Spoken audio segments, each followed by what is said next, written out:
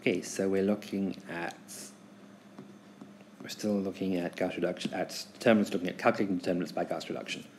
And we are now going to do some examples of doing that. So, we've done all this. We're now, we've done all these theorems and stuff about how the determinant changes when you use Gauss reduction. Now we're here.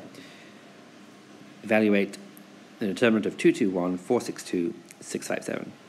Okay, so start off by scaling row 1. So you divide row 1 by a half, and that means that the determinants will also be divided by a half. So you need to times it by 2 to keep it equal.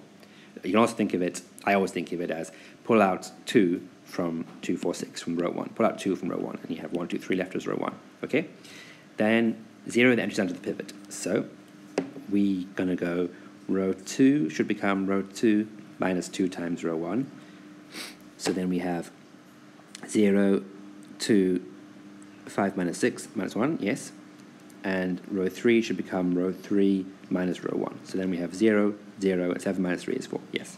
Okay. Now what's left over is an upper triangular matrix. So to get the determinant of that, you just multiply the things on the diagonal. 1 times 2 times 4 is 8, so the whole determinant becomes 2 times 8 is 16. Okay. Now we have show that this determinant of this 4 by 4 is equal to minus 200. Okay, so you can either expand directly or you can do some Gauss reduction first. I strongly suggest that if you have any doubts about how useful Gauss reduction is for these types of problems, you try and expand it directly. And it says if you do need to do it by Gauss, if you do it by Gauss reducing, you don't need to reduce it all the way to row echelon form, although you can. Even a single step will make it much easier to evaluate the determinant. Okay, so let's evaluate this. Well, try it yourself first, please, but then once you've done that, come back to this video and see if you agree with me, or if you did it the same way or a different way. But in any way, you should get the same thing, minus 200. Okay, so we could start off by doing, we could start off with row 2 plus 5 times row 1, row 3 becoming row 3 minus row 1, and row 4 becoming row 4 minus row 1.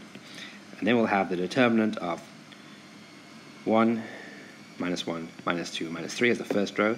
The second row would be 0. Okay, so now we have, so we have minus 5 plus 5 is 0. Then we have 1 minus 5, which is minus 4. And then we have 2 minus 10, which is minus 8. And 4 minus 15, which is minus 11. Then third row we have 0, uh, minus 1 plus 1, which is 0. 6 plus 4, which is 10. Um, 1 plus 3, which is 4.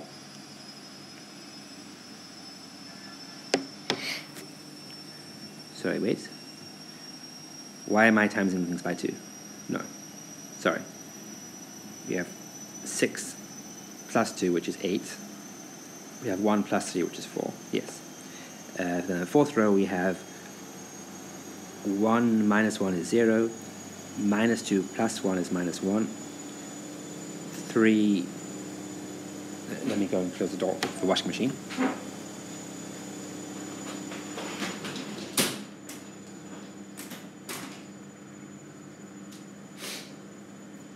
Okay, sorry. Uh, we have row 4 minus row 1, so we have um, 0, and then we have minus 1 plus 2 is... Okay. No, we have minus 2 plus 1, which is minus 1. Then we have 3 plus 2, which is 5. And then we have 4 plus 3, which is 7. Now we can, and those, that's, these two things are equal. Because those, uh, those steps adding a scalar multiple of one row to another doesn't change the determinant. So now we could expand down the first column, right? We get, so this thing is, that's an even entry there, so a determinant of minus 4, oh, sorry, minus 4, 0, minus 1, minus 8, 8, 5, minus 11, 4, 7. Okay. Now we could do, we could do take row 1 and we could, no, don't want to do that. Okay, let's do, yeah, let's take row 1 and subtract 4 times row 3 from row 1. That won't change the determinant, but we will end up with row 1 becoming 0, okay, then minus 8 minus 20, which is minus 28, and minus 11 minus 28, which is minus 39. Okay, and then we have 0, 8, 4. Oh, actually, you know, I should pull out. No, there's no point. We have 0, 8, 4, and then we have minus 1, 5, 7. Okay, now I can expand down the first column.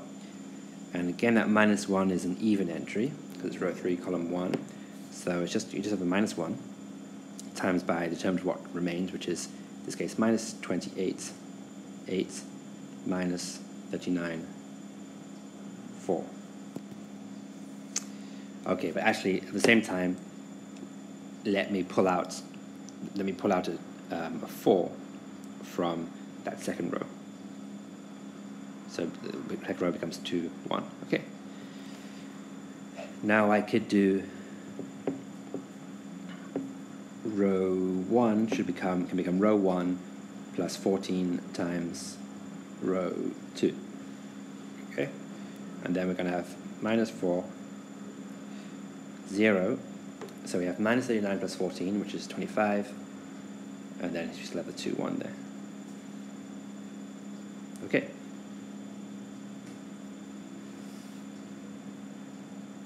It's not 25, it's still gonna, it's gonna be minus 25, sorry.